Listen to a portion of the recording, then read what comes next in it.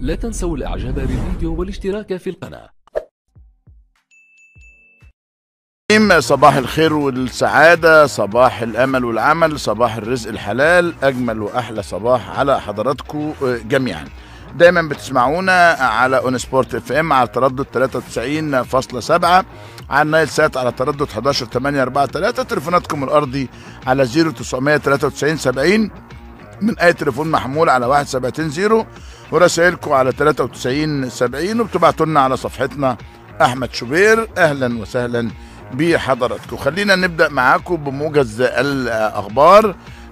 أول أخبار هذا الموجز الأهلي يعود للانتصارات بعد غياب استمر 99 يوم بهدف أحمد الشيخ في المباراة المؤجلة من الأسبوع التاسع مسابقة الدوري العام. أخيرا المباراة الحائرة بين المصري وجزيرة مرسى مطروح النهارده في دور ال 32 من كأس مصر على استاد الإسماعيلية الساعة 5 من مساء اليوم اتحاد الكرة تلقى موافقة الأمن على إقامة مباراة المصري أمام الفائز من ساليتاس البوركيني وواكريا أتلتيك الغيني ضمن منافسات دور ال 32 بالكونفدرالية على استاد بورسعيد. لجنة الحكام تنتظر قرار الاتحاد الأفريقي بزيادة حكمي ساحة بالقائمة الدولية المصرية لتصبح تسع حكام بدلا من سبعة منتصف ديسمبر الجاري. المنتخب الأولمبي يقترب من إتمام الاتفاق على معسكر مارس المقبل في إسبانيا وخوض ثلاث وديات أمام هولندا وأمريكا وأسبانيا. الأهلي يعلن ضم محمد محمود لاعب وادي دجلة لمدة أربع سنوات ونصف بدءا من أول يناير المقبل. الخطيب يعود اليوم من ألمانيا بعد انتهاء رحلته العلاجية ويجتمع مع سيد عبد الحفيظ غدا لحسم ملفات فريق الكرة. الزمالك يعقد مؤتمرا صحفيا بعد قليل على هامش النظر في دعوى حل مجلس إدارة اللجنة الأولمبية التي تقام اليوم على فكرة الموضوع ده أزمة كبيرة الإسماعيلي يعلن تصعيد العقوبات ضد عصام الحضري بعد تغيبه عن الامتثال للتحقيق أمام المستشار القانوني أمس ويحدد جلسة ثانية السبت المقبل. هحاول أجيب المستشار القانوني النادي الإسماعيلي. حسني عبد ربه ينفي هروبه من مواجهة الإنتاج الحربي بالدوري مسيجر بطل بروندي بدوري أبطال إفريقيا. في بيان رسمي يؤكد أن غيابه كان للإصابة. مسيجر بطل بوروندي يصل اليوم إلى القاهرة تمهيدا لمواجهة الإسماعيلي في إياب الدور التمهيدي لدوري أبطال إفريقيا. المباراة المقرر اقامتها يوم الأربعاء المقبل على استاد الاسماعيليه طاقم تحكيم ليبي بقيادة عبد الحميد عبد الواحد حرويدة يدير المباراة. هاني العقبي مديرا فنيا لدمنهور بعد اعتذار صفاء رجب عن استكمال المهمة. والمنصورة ينجح في إقناع ياسر الكناني بالبقاء مع الفريق لنهاية الموسم. أحمد المحمدي يشارك في فوز جديد لأستون فيلا على ميدلسبره بثلاثية نظيفة وتعادل ويجن مع بولتون بمشاركة سام مرسي في ال Championship.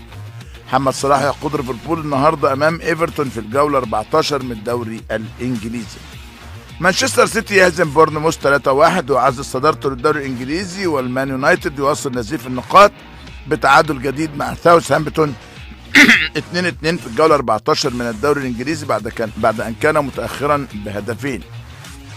يوفنتوس يواصل اكتساح الدوري الإيطالي بثلاثية أمام فورنتينا وكريستيانو رونالدو في صدارة الهدافين. ريفر بليت يصدر بيانا رسميا يعلن فيه رفضه لخوض نهائي كوبا ليبرتادوريس أمام بوكا جونيورز على ملعب سانتياغو برنابيو بالعاصمة الإسبانية مدريد. مصر تفوز على تونس 73 64 في الجولة قبل الأخيرة من التصفيات المؤهلة لكأس العالم 2019 لكرة السلة بالصين وتواجه الكاميرون اليوم في مباراة حسم المونديال أو التأهل للمونديال. باسم سمير يحقق انجازا جديدا باحتلاله المركز 35 عالميا في التصنيف الدولي للشطرنج كأعلى تصنيف لأي لاعب مصري أو عربي أو إفريقي في تاريخ اللعبة. دي كانت العناوين. خلينا نتكلم على التفاصيل. الموقع الرسمي نادي الزمالك قال في مؤتمر صحفي النهارده تسعة ونص صباحا يعني بعد شوية بمجلس الدولة بالدقي على هامش نظر دعوة حل مجلس إدارة اللجنة الأولمبية. الموقع قال إن المؤتمر يأتي على هامش الحكم المنتظر في القضية المرفوعة من مجلس إدارة نادي الزمالك لحل مجلس إدارة اللجنة الأولمبية. النهارده الدائرة الثانية قررت حجز نظر أربع طعون أقامها الزمالك على القرار الصادر من اللجنة الأولمبية بوقف نقل جميع المسابقات خارج ملاعب النادي ومنع رئيس النادي من حضور جميع المنافسات الرياضية في كل الألعاب الأولمبية وغير الأولمبية اللي بيشارك فيها للجلسة بتاعة النهارده. قال طبقا للقوانين الخاصة هي ما عملتش آه، جمعية عمومية وبالتالي كل القرارات آه، باطلة. الطعون الخاصه بالزمالك قالت إنه ما حدث من اللجنه الأولمبية بالذهاب إلى اللجنة الأولمبية الدولية في سويسرا يعد استقواء بمنظمة اجنبيه على نادي مصري وأنا الحقيقة يعني بحذر من دلوقتي من يعني تبعات اللي هيحصل. أنا بقى إيه آه، معرفش الحكم صادر لمين ولا إيه ولا إيه ولا إيه لكن أنا بقول لحضراتكم إحنا كده داخلين في سكة صعبة جدا جدا جدا وربنا يستر علينا. بالمناسبة التعديلات المطروحة على قانون الرياضة تم تأجيلها. يعني كان النائب ثروت سويلم كان خد توقعات عدد من النواب عشان يبدأوا يناقشوا تعديلات على قانون الرياضة تم تأجيلها. إيه بقى اللي بيحصل من حكم النهارده وقصة وحدوتة؟ ربنا سبحانه وتعالى آه، يستر على الرياضة المصرية. اتحاد الكرة بيطلب رد من الشناوي على شكوى ال 8 مليون جنيه اللي كان قدمها نادي الزمالك قال إنه خد 8 مليون جنيه وما ردهمش رغم إنه راح انضم لنادي آه، آه، بيراميدز. طيب ده كان آه، خبر آه، مهم جدا خبر القضية بتاعت اللجنة الأولمبية. لكن تعالوا نشوف الخبر الأساسي من وجهة نظري آه، النهاردة وهو آه، خبر آه، الأهلي وبتروجيت. الأهلي بقاله 99 يوم مفس في الدوري العام. مش 99 يوم يعني لعب ماتشات هو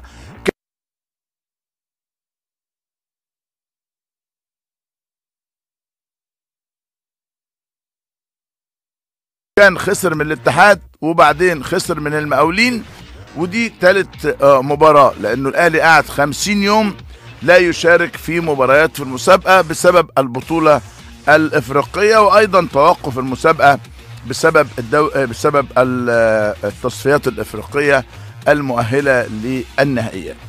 إيه اللي حصل بقى يا جماعة؟ اللي حصل إنه آه، إمبارح كانت في مباراة بين الأهلي وبتروجيت. من تشكيلة النادي الأهلي تعرف إيه اللي حصل. شريف إكرامي بقى هو الحارس الأساسي لغياب الشناوي المصاب لكن شريف عاد إلى مكانته الأساسية وأعتقد من الصعب أنه يعود إلى دكة البدلاء حتى بعد عودة الشناوي. تاني شريف عاد لمكانته الأساسية كحارس مرمى للنادي الأهلي وأعتقد إنه إذا استمر على الثبات ولم يختبر جديا بالأمس لكن في ثقة وهدوء وثبات إذا استمر على حالة الثبات والثقة والهدوء اللي كانت موجودة عنده من الصعب أن يعود إلى دكة البدلاء. كريم ندفد لعب ظهير أيمن امبارح وكان هايل وصل التألق بعد رغم مباراة المقاولين اللي الاهلي خسرها لكن الناس كلها أشادت بكريم ندفد امبارح كان أفضل كمان بكتير. أحمد علاء يعني بيشارك أساسي في الدوري العام امبارح وبيثبت وجوده وبيرد على كل الكلام اللي كان بيتقال إنه يعني لازم بقى آآ آآ الأهلي يمشيه وإن هو أول الصفقات اللي هيتم الاستغناء عنها في آه، يناير. طلع كلام آه، في أبو كلام وأحمد علاء أدى بشكل جيد. سعد سمير استعاد جزء كبير جدا من مستواه وكذلك أيمن آه، أشرف. لعب هشام محمد وحسام عاشور جات له إصابة غريبة جدا. حاطين إعلان على ورا الجون والإعلان تحتيه حفرة. فهو بيدوس على الإعلان لقى هوا نزل أنكر رجله اتلوى للأسف الشديد غير من المباراة. وليد سليمان كالعادة شكله جيد ناصر ماهر من أفضل مبارياته أحمد الشيخ سجل وليد أزارو مارس هوايته في تضييع الفرص. لكن عمرو السولية بيعود امبارح إسلام محارب بيشارك بدل من ناصر ماهر وباسم علي بعد فترة طويلة جدا بيعود رغم إنه لعب تسع دقائق بالإضافة لأربع دقائق وقت آه، بدل ضائع. لكن بيأكد كل مرة يشارك فيها إنه لعيب كويس. مشكلته الوحيدة يا عيني هي كثره الاصابات النتيجة 1-0 أحمد الشيخ في الدقيقة 7 الأهلي 14 نقطة من 8 مباريات. بقى بالمركز 16 بتروجيت 15 نقطة من 15 مباراة. طيب آخر فوز للأهلي كان في 24 أغسطس على حرس الحدود 2-0 ماذا يعني هذا الفوز للنادي الأهلي؟ يعني خطوة مهمة جدا للأمام. يعني آه، آه، آه، عودة ثقة يعني ظهور لاعبين جدد في ال- الفريق يعني حالة من الاطمئنان يعني عدد من اللعيبة بيظهروا بشكل جيد يعني انتظار لعودة أحمد فتحي وعودة أجاييه آه، مرة تانية للتشكيلة آه، الأساسية.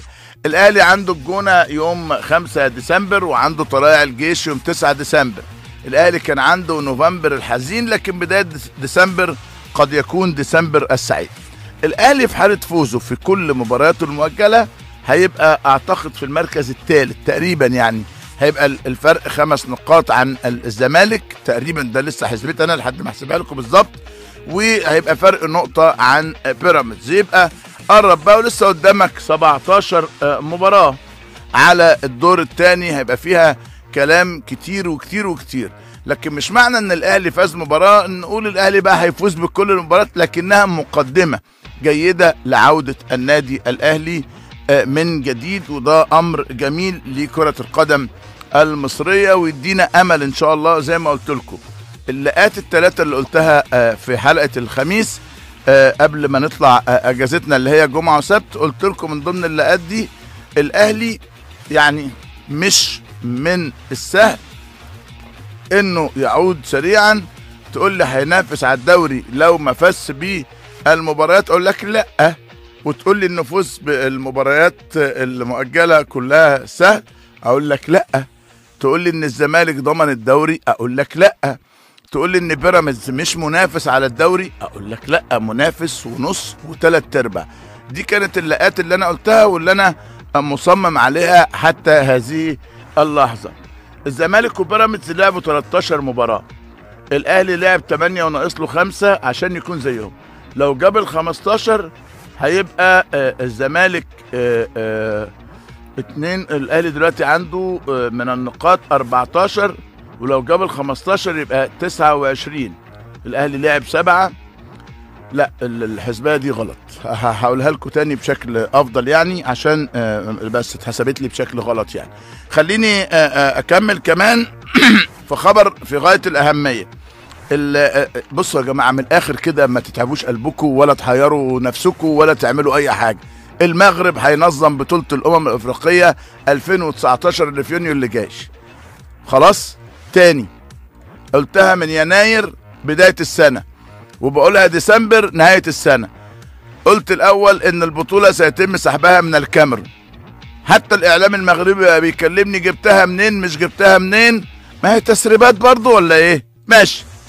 المغرب هينظم بطولة الأمم الإفريقية القادمة. خلاص.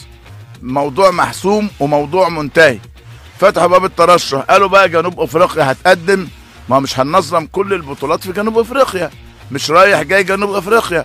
والمغرب بسم الله ما شاء الله عندها كل حاجة جميلة وكل الاستعدادات إنها تعمل بطولة ولا أحلى ولا أجمل ولا أروع وبالتالي مبروك على المغرب التنظيم. خلاص؟ خلصت الحكاية بس عشان ما حدش بعد كده يرجع يقول لك مين هيقدم ومين مش هيقدم ومين ظروف الدوري ومين ظروف الكاس ولا كل الكلام ده هيمشي مع حد. أخيرا أهو تاني. المغرب ستنظم بطولة الأمم الأفريقية 2019 المقررة في آه، آه، اللي كانت. اللي كانت مقررة في الكاميرون وتم سحبها منها في خلال اجتماع المكتب التنفيذي للاتحاد الأفريقي اليومين اللي فاتوا خلينا نقول فاصل ويعني بفكركم تاني إحنا بنستقبل آه، رسائلكم على آه، 1770 من أي تليفون محمول ولا آه، أو آه، من بتبعتوا رسائل على 9370 أو لا تنسوا الإعجاب بالفيديو والاشتراك في القناة.